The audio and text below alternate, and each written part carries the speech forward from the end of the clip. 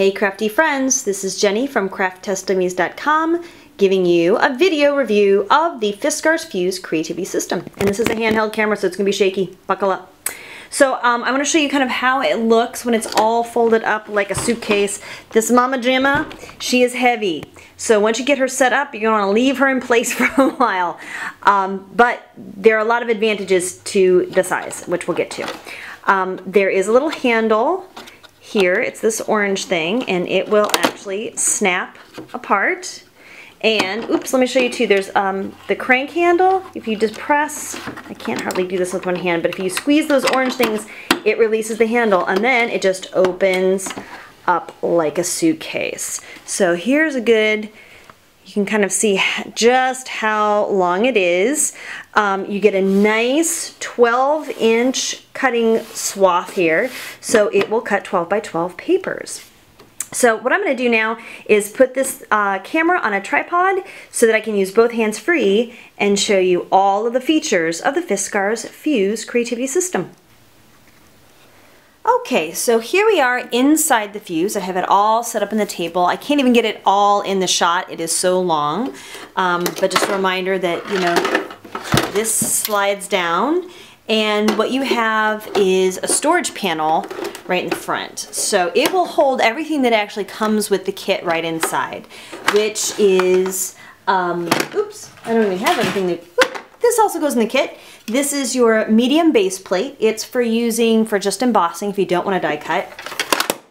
You get the medium cutting plate which has a rubberized surface. You get um, a Fiskars ink pad and then you get a basic design and this is a scalloped circle. Um, you don't get the um, Allen wrench, but I'm going to tell you why I use it and why I've got it there.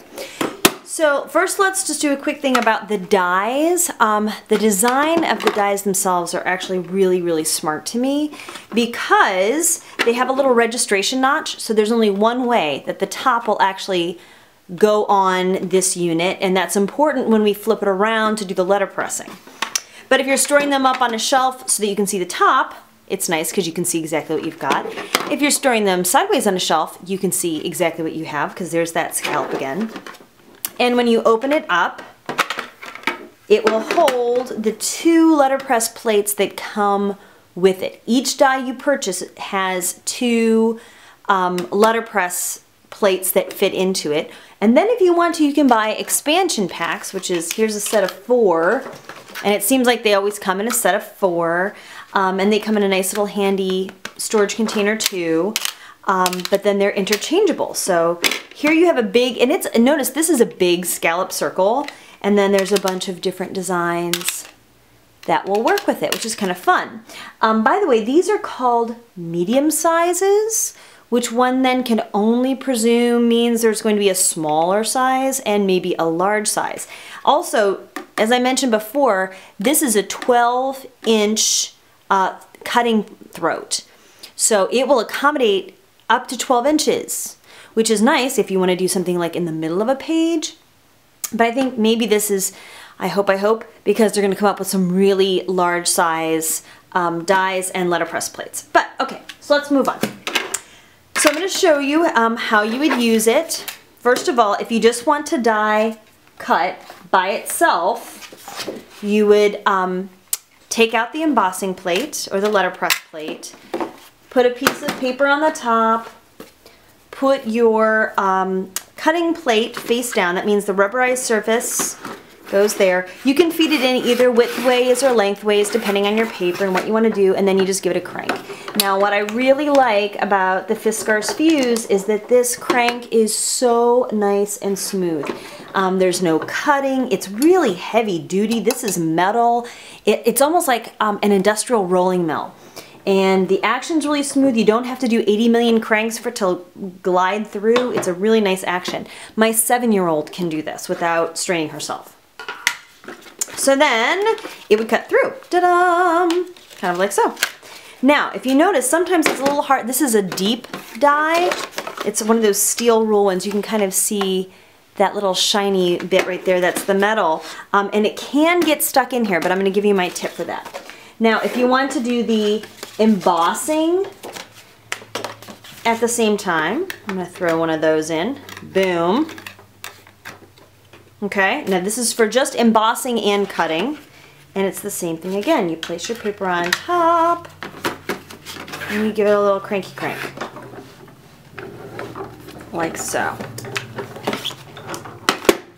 And now, it, this comes right off and there you go. Now, if that doesn't want to come off, they suggest using a cotton swab. I found that an Allen wrench works really well for popping out the, um, the letterpress die and then releasing your paper. By the way, this is watercolor paper.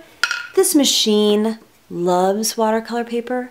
Please buy watercolor paper when you buy this machine because look at that beautiful indentation and it looks even cooler when you've got color on it, which is what I'll show you next. Yay!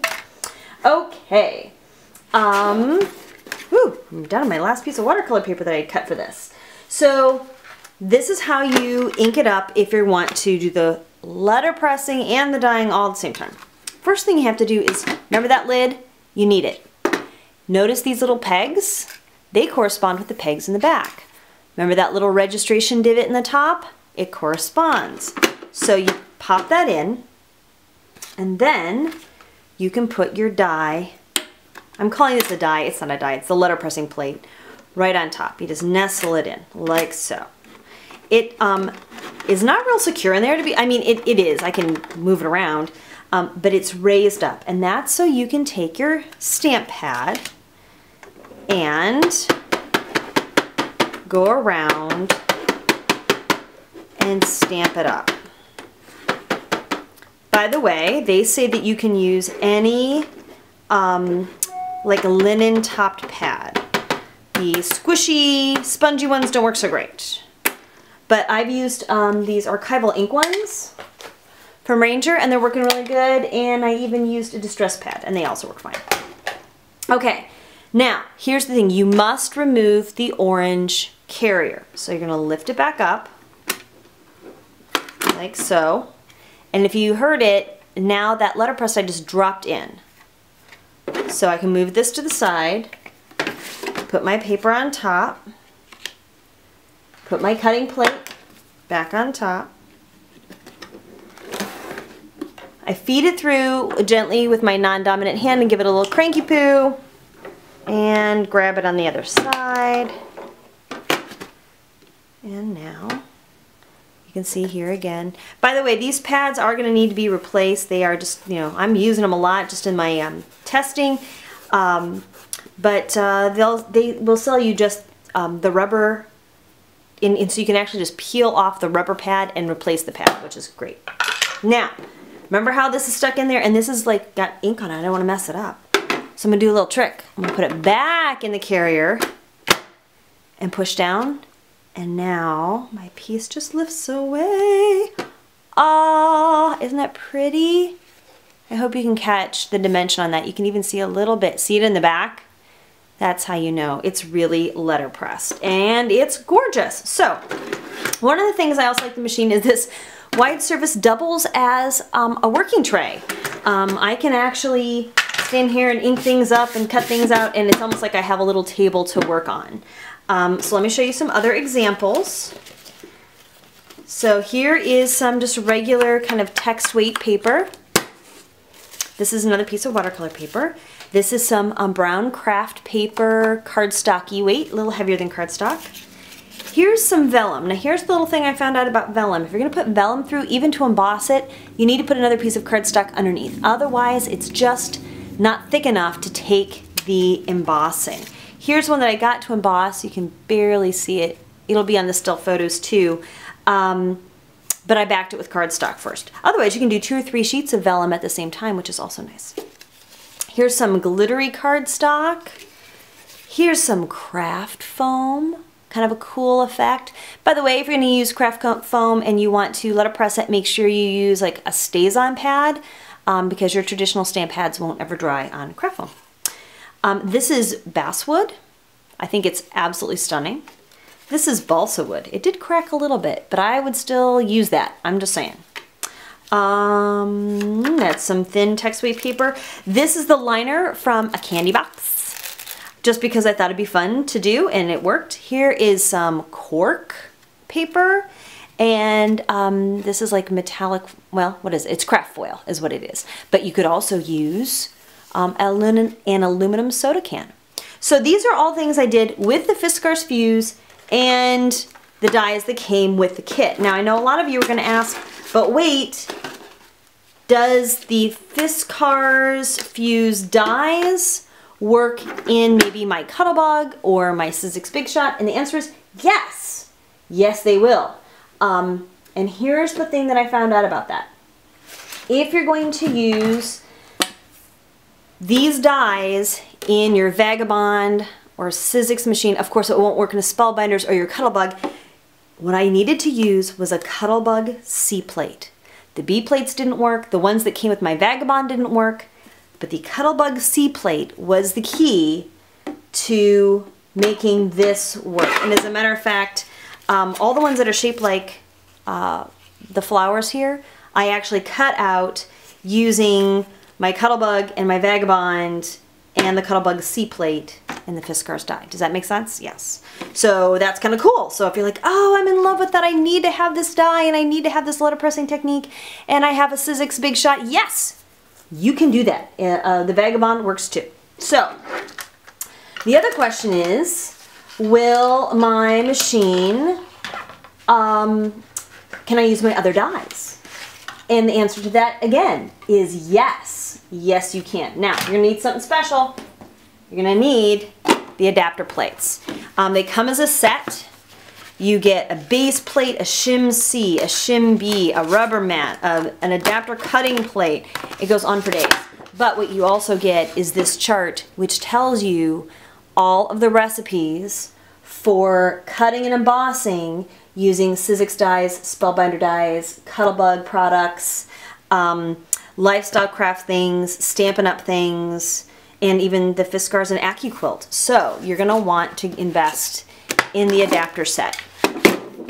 But don't worry, I used um, my Sizzix Alteration. I'm gonna reach over and show you. I used this die and I cut this out using my adapter plates. So it worked really well. Um, and like I said, I did some embossing.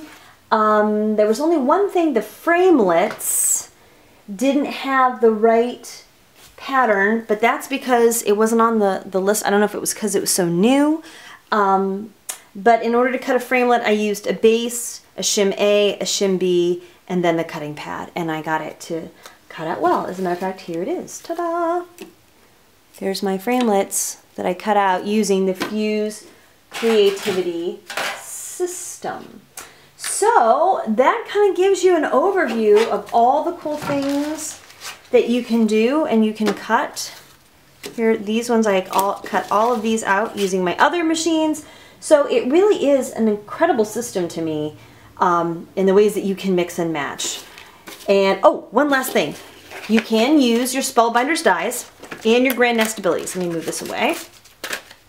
But this is why I need Fis Fiskars. Okay, so Fiskars, if you're listening, here's something I need you to do. I need you to make an adapter plate that will fit my Grand Nestabilities dies. Notice how it's just a little bit too small. Yikes, I need the nice big adapter plates. But here's what I did. I actually did make it work. I used the um, formula for the Nestabilities dies, and what I did is I ran it through once, kind of halfway on, and then I took it out and I flipped it around and then I cut it again. Now it wasn't perfect. I did get a little hanger on here, but I think if I practice I could actually make it work um, and use my Grand Nestabilities dies with the fuse. Otherwise, I'm hoping that Fiskars will come out with a nice big adapter plate for us. And some more cool big dies, because I mean, you've got 12 inches here, why not use it? All right, that's it, my friends. Thank you for watching. Please give the video a thumbs up. If it was helpful for you, please subscribe to our channel and leave me some comments about the Fiskars Fuse Creativity System by Fiskars. Thank you.